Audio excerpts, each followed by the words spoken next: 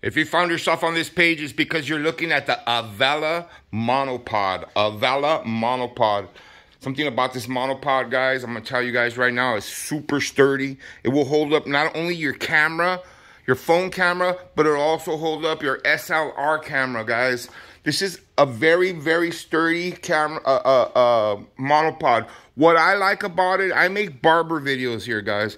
So what I like about it is that I could get it very close to my chair, which you cannot do that with a tripod. So what I like to do is just set it up for my for my phone right here when I'm videotaping haircuts sometimes, and it's perfect for that situation. You could tell it's just one stand like this. You can adjust it.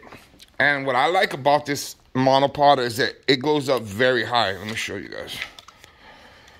I can go all the way up here and it literally is higher than I am.